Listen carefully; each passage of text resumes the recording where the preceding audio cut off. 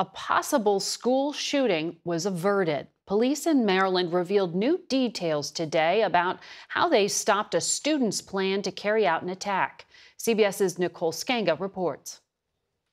A potentially catastrophic event was prevented. A possible school shooting thwarted.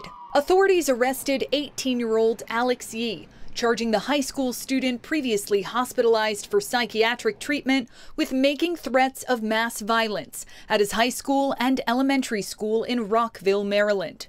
According to charging documents, a friend alerted local police of a chilling 129 page memoir, a story of a bullied transgender teen's desire to shoot up his school.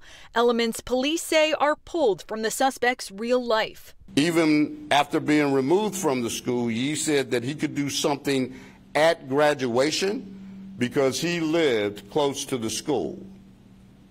Yee was preoccupied with self-harm, school shootings, and explosives. Police saying he Google searched other mass shootings, including Sandy Hook and nearby gun ranges. Police also recovered a BB gun from the suspect's home. No other weapons were found, and the suspect is being held without bond. There have been 140 threats made to Montgomery County Public Schools this school year, according to local police.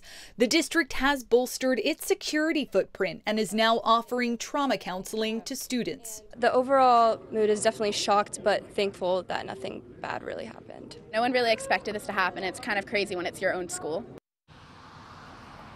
We reached out to the suspect's attorney. We have not yet heard back. Tomorrow marks 25 years since Columbine.